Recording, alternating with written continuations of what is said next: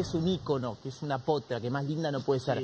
¿Cómo hace para negociar con esta cosa de la abstinencia? Primero hay formas de saciarse uno solo.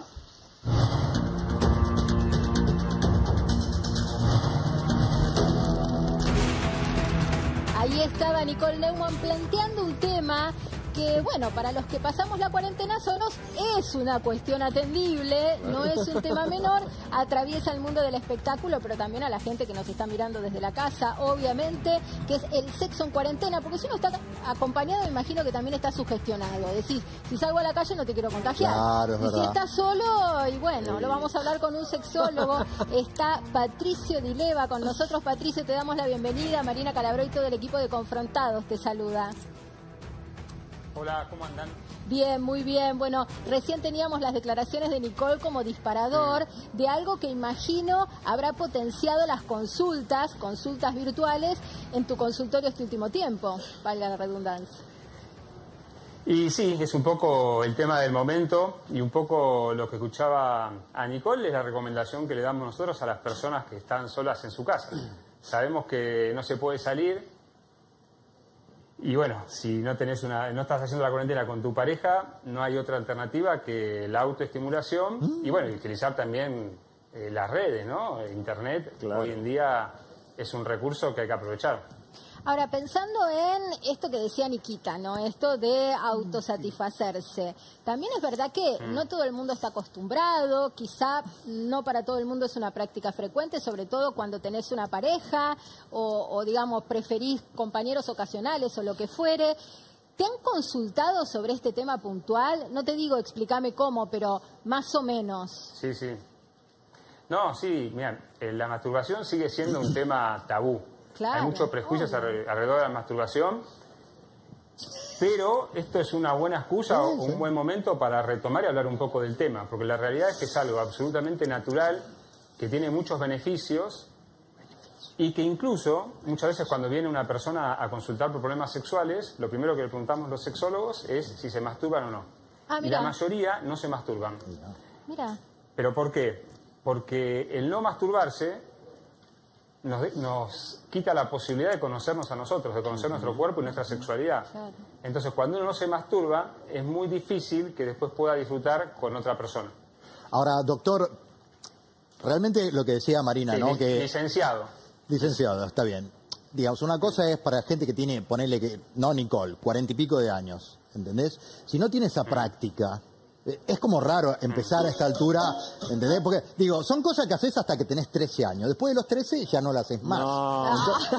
No, chicos, por Dios. O sea, después de los 13 uno no se toca Ay, más. se- mira, se me cayó la, la cosita esta, de, lo que me escuché, me, saltó el los cosito. cuadros No se al puede creer. licenciado. Pero Los Patricio, pero. Patricio, todo bien. Tenés- a lo- Está- ya está. tiembla todo de consultorio. Pero después de los 13 vamos para adelante, nos gusta la, la vecina de enfrente, lo que sea, ya está. Pero ¿Qué vamos a andar haciendo?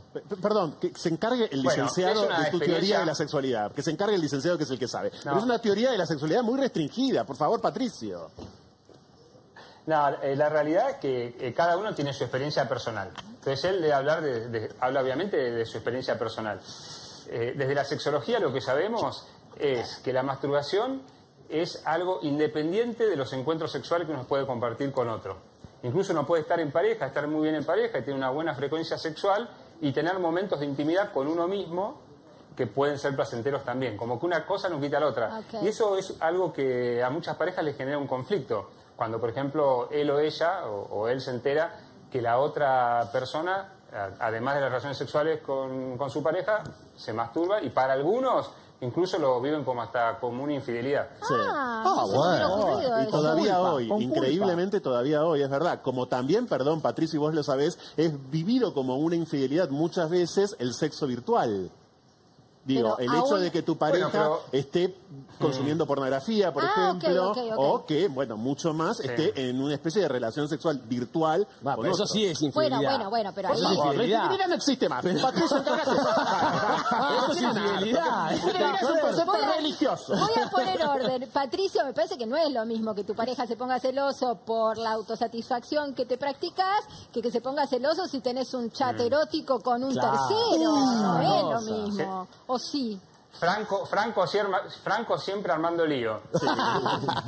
Le damos caso a Bergoglio, Eh, increíblemente. Sí, hago lío, sí. No, mira, eh, en realidad lo que es fidelidad o lo que es infidelidad tiene que ver con el acuerdo que vos tengas con tu pareja. Claro. Si vos tenés un acuerdo con tu pareja donde no está permitido el porno, bueno, en esa pareja mirar porno significa una infidelidad.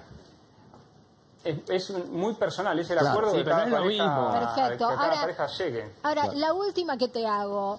¿Nos pega para atrás Sí. en el estado de ánimo no tener sexo en el sentido más tradicional con un otro, Normal. sea quien fuere este otro, y sea sexo fuere? ¿Nos pega medio patriqui o es idea mía? No, es, es real, es real que más allá de que son actividades independientes, una no suplanta a la otra. Ahí va. Y mm, la falta de, de encuentro sexual, de sexo con otra persona, más allá del sexo en sí, Claro. implica la falta de el beso, la caricia, la contención, Claro, el claro. abrazo, la intimidad. Y esas son cosas que la masturbación no va a poder reemplazar. Claro, claro. Entonces, perfecto. ahora empieza- empezamos a entrar en un momento de la cuarentena donde los días avanzan y las necesidades del encuentro con el otro van aumentando. Entonces hay que estar atentos porque vamos a empezar a estar como más débiles Mm. y la tentación de salir de nuestras casas a veces Ah. va a ser difícil de contener. No, mira, me persigno. No violemos cuarentena por, por nuestro apetito sexual. Gracias, Patricia. Un placer hablar contigo siempre. Y bueno, menos mal que te tenemos porque si es por Augusto, la verdad. No, por favor, chicos. Si es por Augusto. Por favor. Esto, Larguen esto- Pero larguen la Manuela, tiene más de 15 años. Empezá, empezá a seguirlo en Instagram. Empezá a seguirlo en Instagram. Y mañana nos contás qué hiciste hoy de la noche. Por favor.